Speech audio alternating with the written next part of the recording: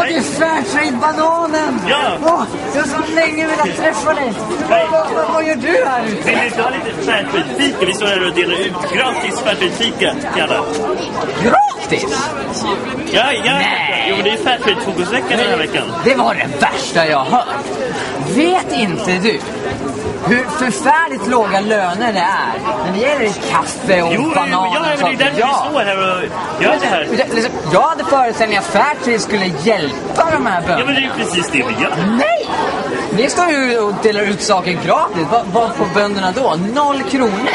Va? Ja, eller du... Alltså Chiquita-bönderna får ju bättre än vad ni har gett.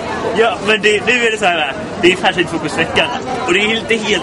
Jag kan förstå, jag förstår dig. Men det är helt så det funkar. För den här veckan så betalar Fairtrade-kontoret så att vi här kan anordna världens största Fairtrade-fika idag. Eh, så det är därför vi står här och delar ut fika. Så Så folk... det är redan betalt? Ja, ja, ja. Fairtrade-kontoret betalar så att arbetarna får de villkor de behöver. Och sen kan du ju alltid bidra genom att köpa Fairtrade-fika nästa gång du ska fika. Vad upplyst jag blev. Lyxa till. Nu blir Ja. jag sugen på att eh, dricka kaffe och Ja, eh, men äta hörru, choklad. ta, ta, ta en kopp kaffe och drick lite och, och bit choklad. Ja, tack Ja. så jättemycket. Ja, men vad kul. Trevligt att diskutera med dig, Ivan. Detsamma, detsamma. Hej då.